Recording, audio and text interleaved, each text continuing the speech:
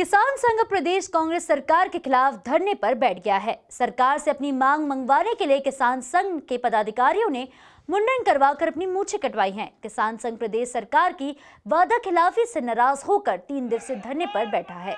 किसान संघ ने प्रदेश सरकार को चेतावनी दी है कि जल्द मांगे नहीं मानी गई तो पूरे किसान गाँव गाँव जाकर मुंडन करवाएँगे एवं उग्र आंदोलन करेंगे।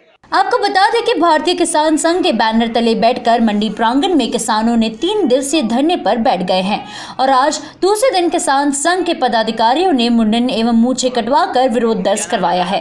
सत्तर वर्ष के एक बुज़ुर्ग ने अपनी पचास साल पुरानी मूछे कटवाकर कमलनाथ सरकार का विरोध किया है।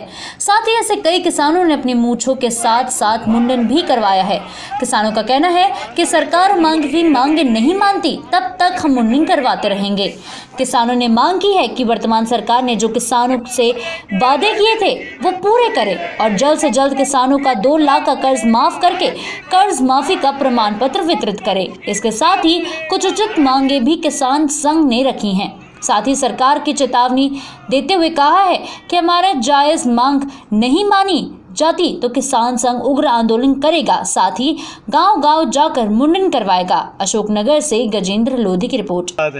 किसान की मूछ लाखों पर एक करोड़ों रुपया पे एक मूछ का बल नहीं देता है। यह बड़ी दुख की बात है, यह बड़ा दुख का विषय महसूस कर रहा हूँ। मैं भी अपने यहाँ भावुक होकर मैं रोवे भी तैयार हूँ कि मेरे आज किसानों ने यहाँ मूछें कटवाई हैं। यह है किसान की परिस्थिति है और प्रदेश सरकार का यह छलावा है। रोज रोज प्रदेश सरकार कहती है कि हम प्रत्येक किसान का दो लाख रुपए माफ़ करेंगे, इसके बाद में दो लाख से ज़्यादा उसके नहीं करेंगे, दो बैंकर में उसके नहीं करेंगे। ऐसी मजबूरी लेकर प्रदेश सरकार किसानों के पाँच सौ रुपया सोयाबीन को भावांतर राशि खा गई, डेढ़ सौ रुपया बोनस के खा गई, चना के खा गई। सारे पैसा किसान के, सरकार ने मंत्रियों के बंगले चमकावे में सरकार ने पैसे लगाए हैं और किसानों से छलावा किया है। अब किसान, पूरे प्रदेश का किसान बावन ज़िले में कल ज्ञापन देवेगा। बहुत उग्र काम होने वाला है सरकार बचने वाली नहीं है और किसान बिचल चुका है। सरकार को गिराकर ही किसान रहेगा।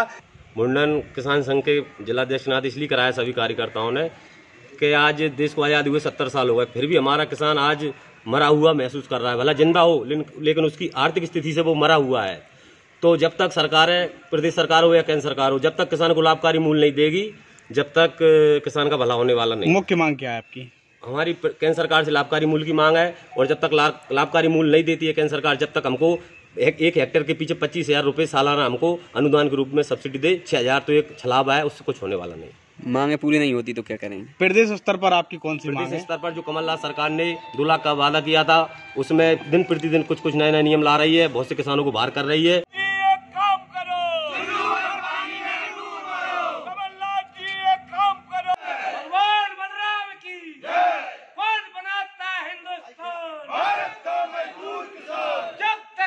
किसान रहेगा। धरती पर तूफ़ान रहेगा।